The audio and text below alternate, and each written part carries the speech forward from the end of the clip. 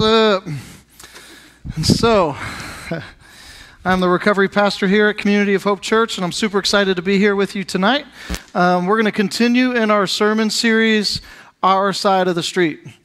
And so, Our Side of the Street has focused um, a lot on Romans 12, verse 18. And Romans 12, verse 18 says, If it is possible, as much as it depends on you, live at peace with everyone. And then we've also been um, taking a look at steps eight and nine. And so tonight we're going to take a little bit more of a look at step nine. Step nine says, Made direct amends to such people wherever possible, except when to do so would injure them or others. And I really want to pay attention to that one part of the phrase that says direct amends. Now, direct amends implies that we are going to have a confrontation with somebody. this isn't like um, something that's just going to kind of passively happen. This is something that we are going to have to do, um, you know, a lot of times face to face. As the big book says, eyeball to eyeball. Um, and a lot of times this could be intimidating, this could be scary, this could be something um, I think a lot of um, people don't really want to follow through with steps eight and nine simply because they are anticipating what that conflict is going to be like and they have a negative assumption about it. And so tonight, my hope is that we're going to realize that we don't have to be worried. We don't have to be scared about having confrontation, having a conflict with somebody else. Um, because as much as I know, I've had a lot of conflict in my life. Has anybody else in here ever had a conflict in your life? Please, by a show of hands, let's see if this is a program of honesty tonight. Yes, everybody has had conflict in their life.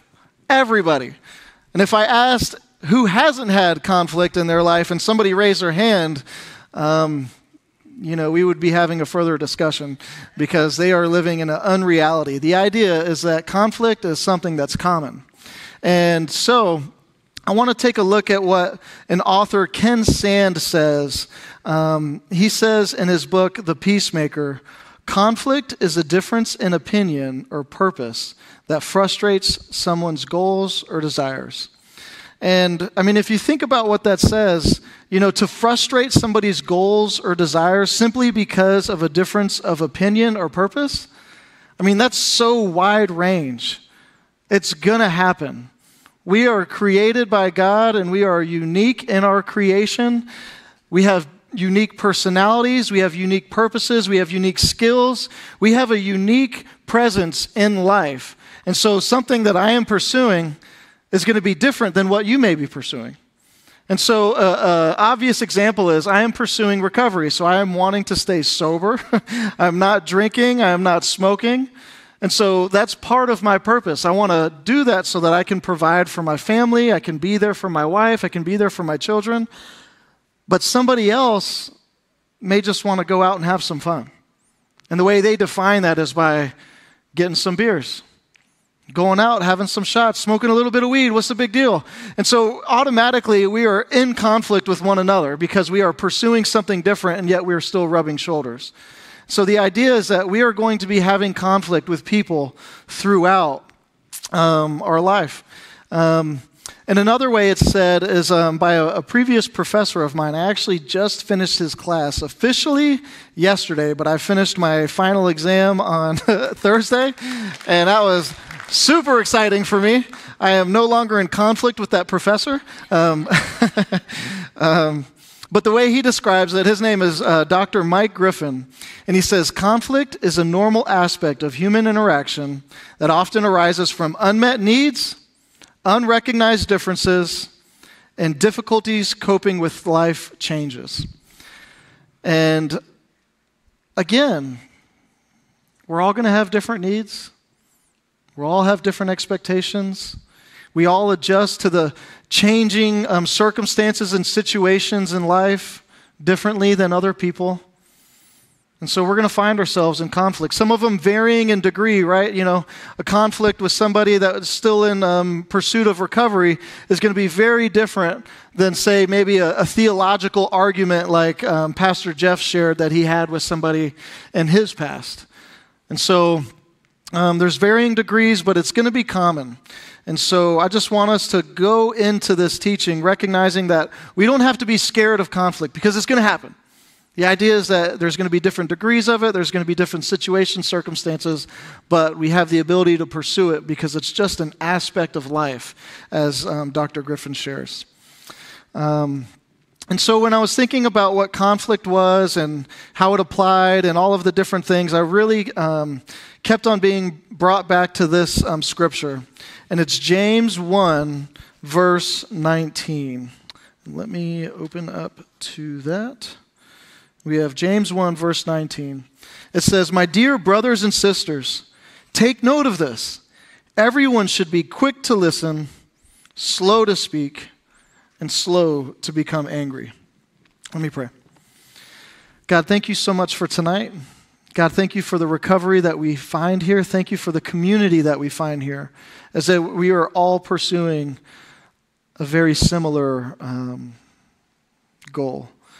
God, we ask that um, tonight that you speak to every single person here in a unique way that would give them confidence as they per, um, pursue recovery, that, that, would give them confidence as they interact with other people and have um, conflict, and that they would be able to manage it um, with love, um, patience, and um, they would have love, God, that they would have patience, and that they would see that just because we're different, doesn't mean we have to hate each other. God, we love you and we thank you. It's in Jesus' name.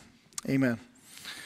Okay, so let me tell you a little bit about the book of James. Um, the book of James was written by James, that's right. And so sometimes in the Bible, the book is um, named by the person who wrote it, and sometimes it's written um, or it's uh, named after the person that it was written to. And so we can see like 1st and 2nd Timothy. That wasn't written by Timothy, that was written by the Apostle Paul um, to a man named Timothy who was a church leader. He was a young guy, and he was doing his best to make sure that people found the love of Christ. Um, but this was written by James. He was the half brother of Jesus. Um, we say half brother because we recognize that Jesus was um, conceived by the power of the Holy Spirit with Mary. And James was his brother. So they were growing up together, but James had a different dad. His, his dad wasn't God like Jesus's was. His dad was Joseph, who was the husband of Mary.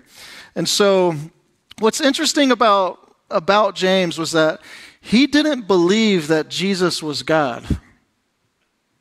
It's kind of unique, you know. This is the Bible. That's what's supposed to be happening in here. Um, but he didn't believe that Jesus was God until his death and resurrection. But after his death and resurrection, after Jesus Christ's death and resurrection, James become, became one of the biggest followers. He became a church leader. He, he was a part of all sorts of stuff in the beginning of Christianity.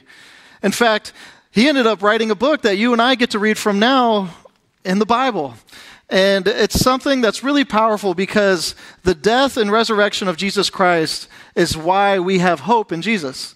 In fact, the Apostle Paul says, if it's not for the resurrection of Jesus, then we're all just a whole bunch of suckers, you know? We are to be pitied the most. The idea is that when Jesus came back to life, and it wasn't in spirit form, it was in the flesh after being dead for three days. You're not like kind of dead after three days, you're dead, dead. And when he came back, James devoted his life to his his half brother, Jesus Christ. And he became a big church follower or a big church leader. And we get to read the um, information that he believed and that he pursued throughout his life, that he was persecuted for um, in, in our scripture. And the book was written to a group of um, Jewish men and women. And this is significant because these weren't Jewish men and women that were like in their home city. These were Jewish men and women that are called diaspora, and that means that they were scattered away from Jerusalem. And now you're, I can, I can just hear the thoughts like, what does that matter to my recovery right now? because, you know, we're, we're finding out about a group of people who used to be Jewish but started to believe in Jesus as their Lord and Messiah after he um, was crucified and resurrected from the dead, and they didn't live in like their hometown. Big deal. But what's significant about this is that because they lived outside of Jerusalem, they were always in tension with people. They had a strong Jewish belief, monotheism. They believed in one true God. But a lot of the cultures that they were surrounded by, they were um, people called Gentiles, and Gentiles were simply just non Jewish people. And so they were Gentiles that had all sorts of beliefs. They believed in multiple um, gods. They believed that you could do all sorts of things that conflicted with Jewish people. And so, James, being a Jewish person that was born and raised a Jew, is writing to these people who are now Christians, who are suffering persecution for their beliefs, not only because they were Jewish, but now because they believe in Jesus, and not only because they were Jewish and now believe in Jesus, and surrounded by a whole bunch of people that have differing uh, uh, theologies than them, but now because they're also mingling with the people that they never mingled with before. You feel the tension a little bit? It's the idea that they, they used to look down on Gentiles. Uh, something that was really big in Jewish custom was that they wanted to be clean. They needed to be clean. And so they had all these rituals to make themselves clean. And because the Gentiles didn't follow any of it, they were filthy people. They were dirty in the Jewish people's eyes. And now, because they're sharing a common belief, outside of the Jewish tradition, but founded in the death and resurrection of Jesus Christ, they are starting to come together. And even though they have this um, similar belief, this idea that Jesus died and rose from the dead, the Jewish customs were still prevalent to all the Jewish people who had converted to Christianity. And the Gentile customs were still prevalent to all the people who just committed their life to Christianity. And so they're in this constant tension with one another as they try to live and believe and worship next to one another. And I think that is why listening to this scripture tonight, James 1:19, he says, "My dear brothers and sisters, take note of this. Everyone should be quick to listen, slow to speak, and slow to become angry." He's not saying this that it would just be generally a good thing. He's saying this because there's constant tension because of conflict happening within the church that they are building. And I know for me, thinking about what it is um, before I got released to come home, I had this tension about myself that I was going to be a foreigner in an outside land, even though this was my hometown. Because I knew all of the dealers, I know all the bars, and it was just natural for me to go to them. But I had to live in a tension as I pursued what I knew to be right, which was recovery. And I had to live in this tension as I'm a very, um, I, I don't share the common belief with a lot of people in our culture. I'm, I'm, I'm a bit of an outsider. Here, this, you guys are my people.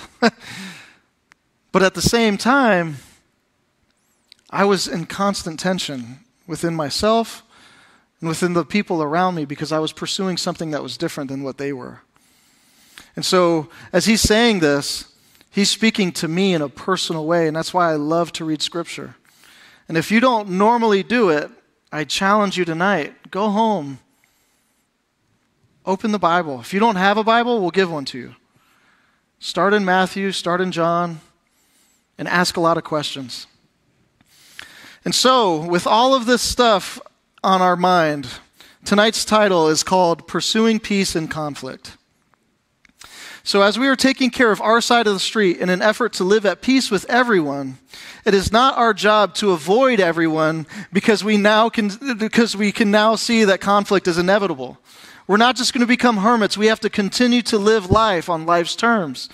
That's why I love recovery because that's the tools of recovery give us the ability to do it. And so instead, it is up to, do, up, up to us to do our part to pursue peace while we are in conflict, simply just because of the nature of life. And I know you've heard me say it before that I like to do things in my life that reflect my active recovery. As it is, when I was not in my active recovery, I was in my active addiction.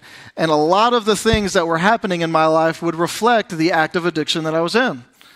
I was drunk a lot, I was high a lot, I avoided people. I, I actually, at one point in time, I developed this like phobia where I couldn't answer my phone.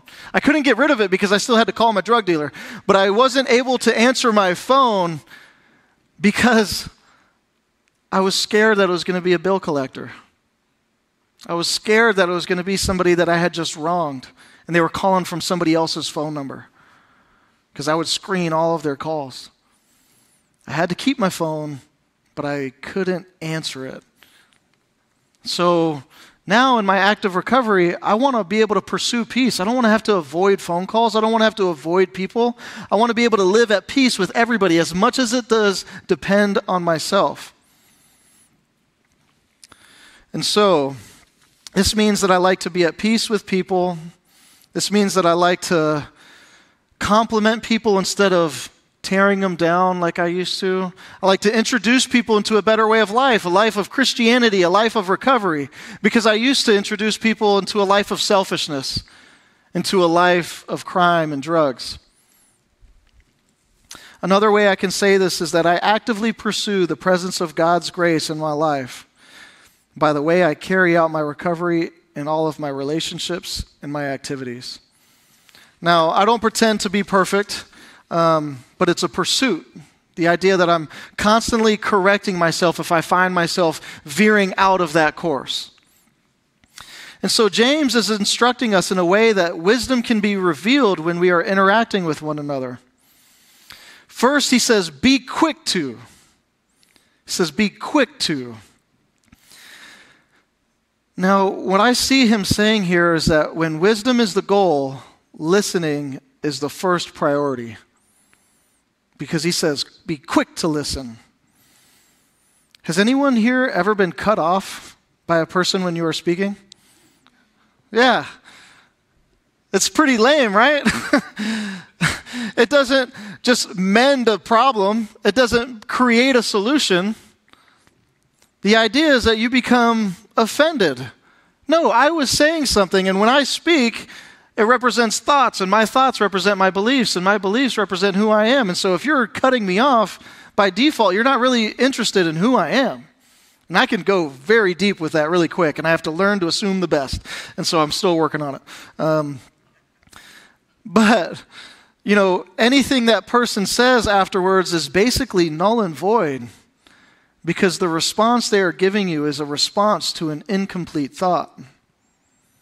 So basically, what James is saying is hurry up and shut up. Just be quiet. Let the other person talk and let them explain the point of view that they're having. Because when we listen, we respect and we validate the other person. And as it is, when we are quick to listen, we are acknowledging that what the other person has to say is valuable information. Also, that you are validating what the other person's feelings and point of view are. And then we can look to the second instruction by James and see that it builds on the first one.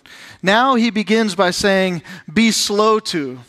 And so, as we're reading scripture, as, as like I said, I really encourage you guys to go home and open up your Bible. As you're reading, don't do it to have a checkbox do it and engage with it. And so he's starting to give three commands. The first is saying, be quick to. The second one draws a contrast. Why is he contrasting himself?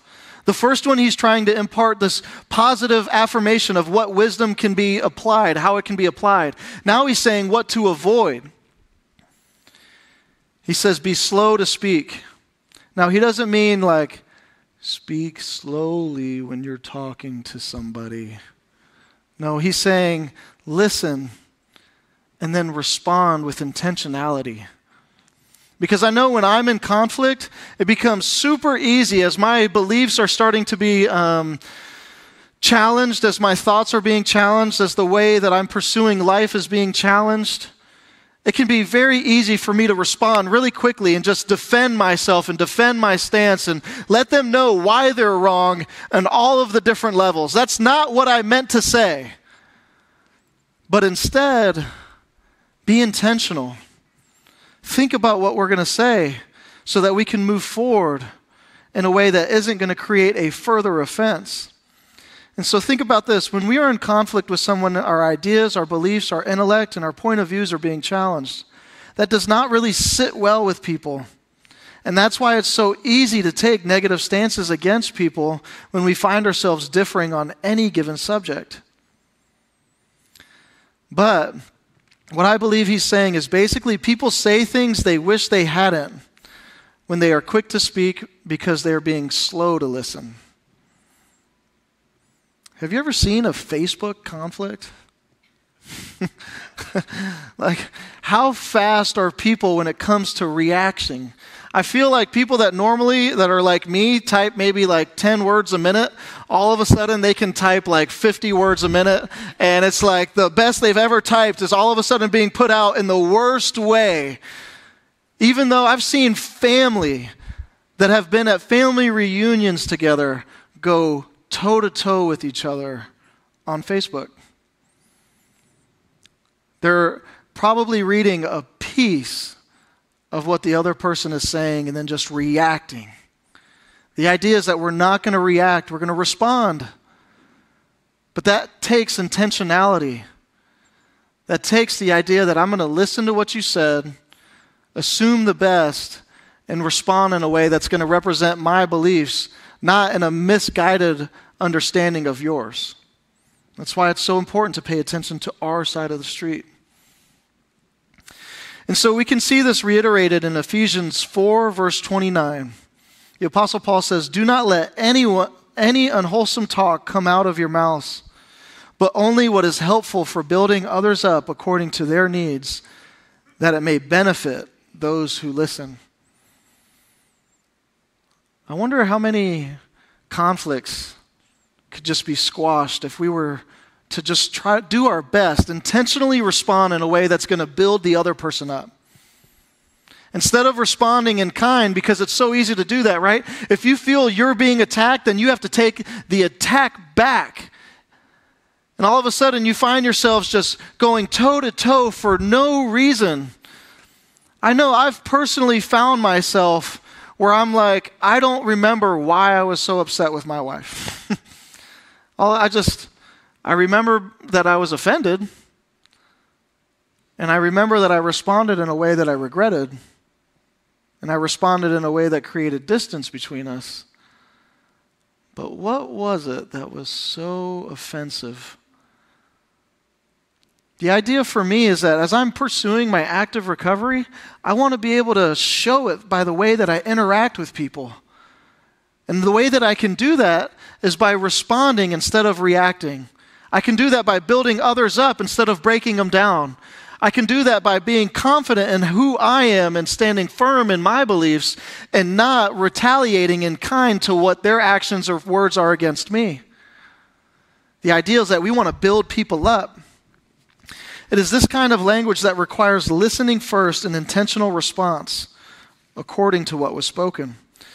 And so think about this. As many of us here have been in navigating our faith and recovery, which means we are looking for a way to embrace and implement our faith and recovery in our lives, we have opened up our souls to people, especially if we have gone through steps four and five. We open up to people and we're telling them some of the worst things that we've done. We're telling them some of the worst things that have happened to us. We're looking at resentments that have festered inside of our souls for so long, and we're finally giving voice and a name to them. I remember my sponsor sat there and he listened to me. It was so refreshing. Something that I felt was going to actually suck the life out of me actually gave me life. Because after I completely finished, he would respond. And he intentionally spoke words that would build me up instead of seeing the hurts that I'd suffered and using those to tear me down. And that's why steps four and five are so great. And I believe that's why steps eight and nine are so powerful. Because we have the ability not only to learn what um, love is like in steps four and five, but we learn how to express it and reciprocate it in steps eight and nine.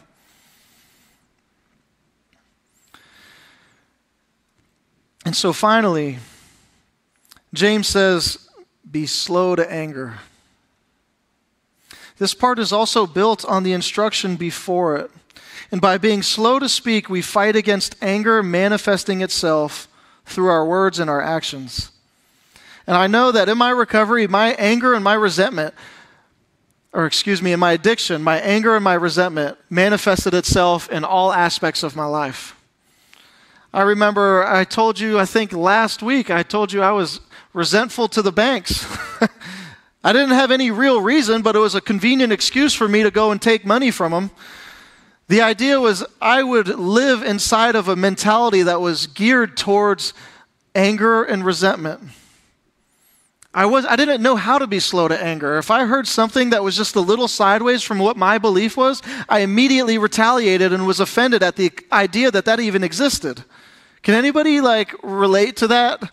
The idea that if somebody spoke something against something that I believed, I felt that they were attacking me personally that all of a sudden that I had to take a stance against their attack that I perceived and they were probably just saying something. You know, like on Facebook, you could probably find a long discussion of how hateful people can be if somebody says Coca Cola is better than Pepsi.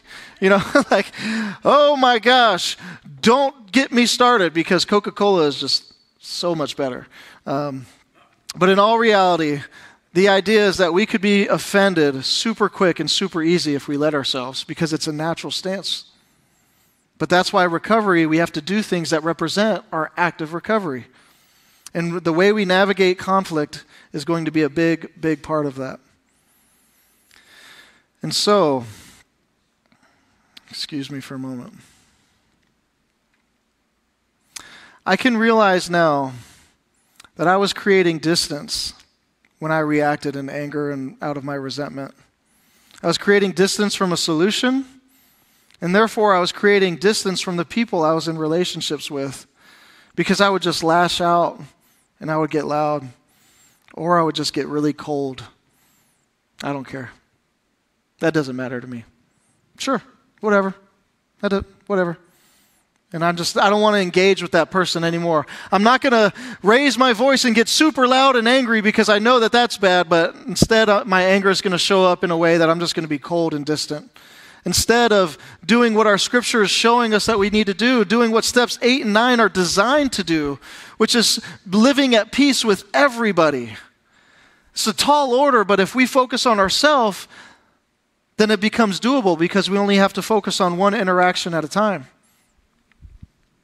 So we can see that this scripture, James 119, is very complementary to our theme verse of Romans 12:18, which says, "If it is possible, as far as it depends on you, live at peace with everyone." Now, this is an approach that results in peace among people that we can employ when we are in conflict with others so that we may have peace in our lives, which will reflect your active recovery through your faith in your life.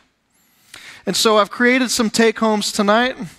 Um, I've uh, listened to our pastor Trevor and a training he did for our um, the employees of the church um, recently, and through my study, and I, I, came up with these three things or these four things um, that I think are going to be very, very helpful, and I know that they have been very helpful for me, and it's exactly what we've been talking about tonight.